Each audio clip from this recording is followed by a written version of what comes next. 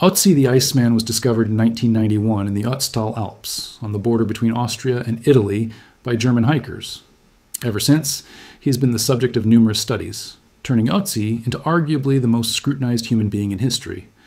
These studies have revealed a portrait of life 5,300 years ago in the Copper Age. His 61 tattoos, arranged in lines and crosses on his lower back, legs, and wrists, are believed to have served as a primitive form of acupuncture, likely to alleviate joint pain or arthritis. His clothing was a masterpiece of ancient craftsmanship leather leggings, a loincloth, a goatskin coat stitched from the hides of different sheep and goats, a bearskin cap, and shoes insulated with grass for warmth, all meticulously designed to protect against the alpine cold. Analysis of his stomach contents revealed his last meal ibex, red deer, and einkorn wheat, an early domesticated grain, suggesting a diet that bridged the traditional hunter gatherer lifestyle with the emerging practices of early agriculture. His genome showed he was lactose intolerant, meaning he couldn't digest dairy, had a genetic predisposition to cardiovascular disease, and carried ancestry tied to Anatolian farmers who migrated to Europe around 7000 BC. His ensemble of tools and weapons also revealed he was an experienced outdoorsman. He carried a copper axe and a quiver containing 14 arrows, though only two were finished and ready to fire.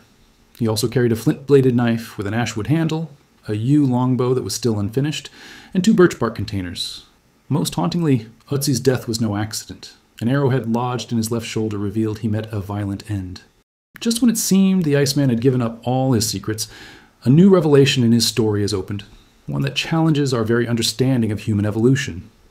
For a long time, scientists assumed that the slender, graceful ribcage of modern humans was a derived or unique trait that set us apart from our more robust predecessors, such as the stocky Neanderthals or the ancient Homo erectus.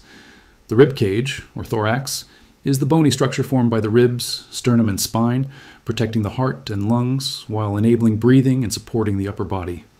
This view, rooted in early reconstructions of fossils like the Nariokotome boy, a 1.5 million year old Homo erectus skeleton from Kenya, posited that Homo sapiens evolved a lightweight, graceful body plan, possibly to enhance efficient locomotion or maintain an upright posture for long distance travel but a groundbreaking 2025 study in communications biology has dismantled this narrative, with Ötzi's rib cage at the heart of a paradigm shifting discovery. The researchers reconstructed Ötzi's rib cage using advanced 3D digital modeling and geometric morphometrics, a scientific method that quantifies the size and shape of anatomical structures by placing precise landmarks on digital scans and analyzing their spatial relationships. Reconstructing Ötzi's rib cage was a complex endeavor. The ice that preserved his body for 5,300 years also distorted his ribs, bending them dorso-ventrally toward the back and belly due to his prone position in the glacier. The result was a digital model of Ötzi's ribcage, larger and more barrel-chested than those of many modern humans, with a wider lower chest and narrower upper chest, yet retaining the globular shape characteristic of Homo sapiens. This ambiguous thorax, as the researchers described it, was neither fully slender nor massively robust, but a unique adaptation for Ötzi's life of seasonal alpine transhumance. Ötzi lived around 3300 BC during the Chalcolithic period, a transitional era when Europe saw the rise of copper tools alongside stone ones.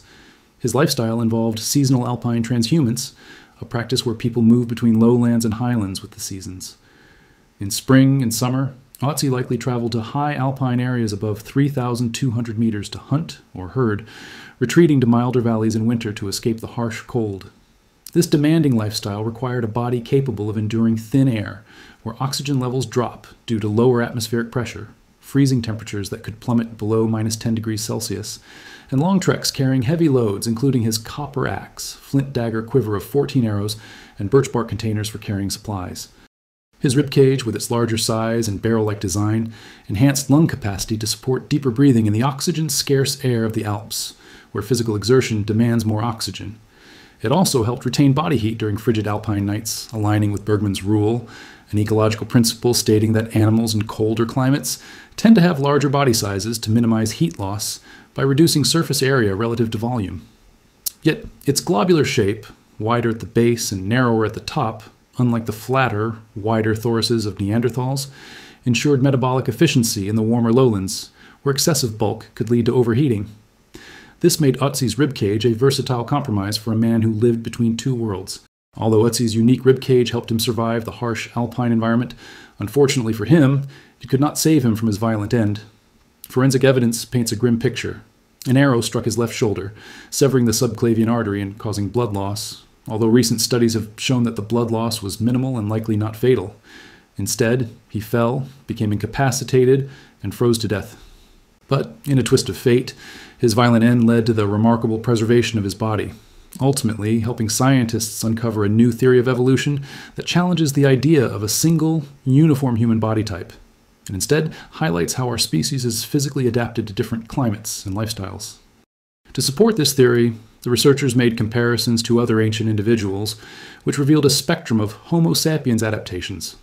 Nazlet Khater, 38,000 years old from Egypt, had a small cylindrical rib cage, suited for heat dissipation in an arid climate, reflecting a life of intense labor, possibly mining chert.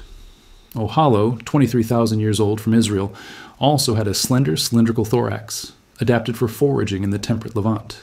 Dolní Věstonice 13, 30,000 years old from the Czech Republic, possessed a massive rib cage, nearly as large as a Neanderthal's but wider, built for heat retention during the last glacial maximum. The Neanderthal's Kebara II, 60,000 years old, and Shanidar III, 50,000 years old, had stocky, flat thoraces for cold climates, while the Nariokotome boy, a 1.5 million year old Homo erectus, had a robust juvenile ribcage. These comparisons show that Homo sapiens ribcage morphology varies with climate, unlike the uniformly slender Bauplan, the structural or skeletal blueprint of an organism, once assumed, with Ötzi's intermediate thorax reflecting his unique alpine adaptation. The findings from this study change how we understand human evolution. Scientists used to believe that all Homo sapiens evolved with a slim body shape, or Bauplan, but Ötzi's ribcage proves that's not true.